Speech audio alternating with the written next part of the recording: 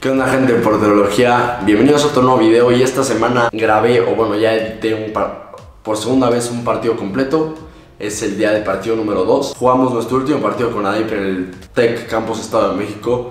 Nos jugamos el primer lugar porque para este nacional calificaban los primeros dos, o sea, ya estábamos calificados. Solo nos jugamos con el empate, pasamos en primer lugar. Les adelanto, quedamos 2-2 y nos fuimos a penales. Ya estábamos en primer lugar. ¿Por qué les adelanto? Porque la cámara ya no tenía pila y no se grabaron los penales. No paré ninguno, perdimos en penales. Es un aspecto que tengo que mejorar. Ya me vi en ciertos videos y creo que me toca lanzar con más fuerza a un solo lugar porque me estoy lanzando a medias. Es algo que tengo que mejorar. Pero hubo cosas positivas. En los dos goles que me meten creo que puedo haber hecho mucho más. Sobre todo en el primero y en el segundo, más o menos, ya lo verán. Y pues más o menos la situación del equipo está así. Nos vamos ya muy pronto al Nacional, acabando Semana de Pascua. Y pues ojalá nos vaya muy bien. Realmente tengo muchas ganas, hemos trabajado mucho. Y pues vamos a revisar las jugadas, vamos a ver en lo que pude haber hecho mejor las cosas, en otras que creo que lo hice bien. Este video eh, sí duró un poco más porque metí un poco de jugadas con el pie, jugadas con la mano Voy a intentar también traer eh, vistas frontales, no solo con la cámara de atrás porque se ve muy poco. Pero bueno, vamos a revisarlas y vamos progresando en esta nueva sección del canal. Que si les sigue gustando, ya saben, dejen un like y un comentario de que quieren seguir viendo este tipo de videos. Para así con mis actuaciones, revisándolas, podemos ver en qué fallé, en qué no fallé y mejorar todos juntos. Y pues sin más, vamos a revisar las jugadas.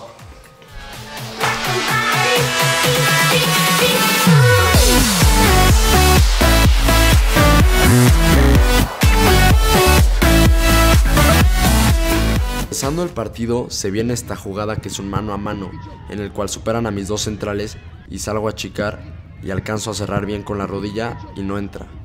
El problema viene que casi luego luego se viene el primer gol. Entramos medio flojones y como pueden observar ahorita en la cámara lenta, Creo que salgo bien, pero ataco muy mal el balón, con mucha suavidad. Si hubiera puesto las manos mucho más rígidas, creo que la hubiera sacado sin problema. Ya después, realmente el partido siguió. Eh, de hecho, estuvieron a punto de meternos otro en esta jugada donde el central alcanzó a recuperar. Pero a los 5 minutos empatamos. Ahorita es a ver un poquito más cerca, pero fue un golazo de nuestro capitán. Realmente la reacción fue muy rápida, neta fue como a los 5 minutos. Luego el partido se calma un poquito y se empiezan ahora sí que los dos equipos a establecer bien en la cancha. Y les pongo aquí un par de jugadas en las que unas salimos rápido con la mano y otras juego con el pie. Les voy a tratar de traer cámaras más frontales.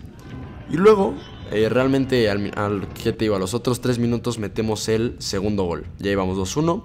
Ahí es otra salida con la mano, que realmente tuve bastantes. Y luego es un tiro libre que me cae relativamente cerca del cuerpo, que nomás recuesto. Y eh, salimos jugando. Ahí me equivoqué. Esa fue un tiro cercano en el que nada más la cuido, que siempre recomiendo cuidarla porque puede ser que la midas mal y si la cuidas puede ser que la pares, no sé si me explique. Otra salida con la mano y ahí fue una jugada con el pie, me la pasaron y jugué con el otro central y recorrí para hacer su opción. Luego en esta pasa exactamente lo mismo, me la tocan de un lado y juego con el siguiente. Y en esta jugada, esta, esta jugada es, curiosa. Su delantero, que tenía muchísima potencia, se abre y ve eh, la oportunidad de tirar y tira un trancazo. Pero pueden ver que ahí dice, no manches, la neta la atacaste súper mal. Pero el balón se movió muchísimo. Y realmente yo iba recorriendo bien por el balón y luego lo vi del otro lado y no alcancé a meter bien las dos manos. Y es por eso que parece que ataco mal el balón. Lo bueno es que no entró y ahí quedó la jugada. Luego viene esta que pasan a mi central, no la mide y ahí no se alcanza a ver. Pero yo salgo a cortar la jugada con eh, la cabeza, casi me rompo la madre con aquel delantero pero así quedó. Luego viene esta jugada que creo que es mi mejor acción del partido, que es un tiro de esquina que dejan pasar los centrales y le cae a un delantero del otro equipo y la pica. Yo realmente eh, no sé ni cómo la paré, creo que es una buena parada mano cambiada, porque realmente me agarran mal parado, me agarran saliendo y doy un paso a recorrer y la saco de mano cambiada.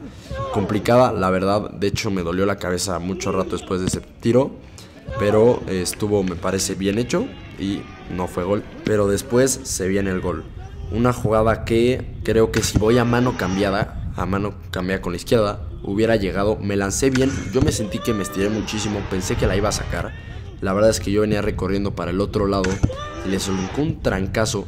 la verdad es que la acomodó bien. Más no fue al ángulo, por eso creo que si hubiera dado un paso eh, recorriendo a lo que se le llama recorrer el paso, que es con la pierna izquierda dar un paso hacia adelante y lanzarme de mano cambiada, me parece que la hubiera podido sacar. Déjenme en los comentarios ustedes qué opinan. Después de ese gol quedaban como 10 minutos de juego. Me tiraron esta que realmente nada más la recosté. Luego en los penales, bueno, termina el partido, son los penales. Eh, no paró ninguno. Estuve cerca de parar un par, adiviné todos menos uno. Sin embargo, no me dio. Tengo que seguir trabajando y espero que realmente les haya funcionado, que hayan aprendido de mis errores y de lo que hice bien. Vamos a seguir con esto. Si te gustó, déjame like y un comentario. Y bueno, gente, nos vemos la siguiente semana.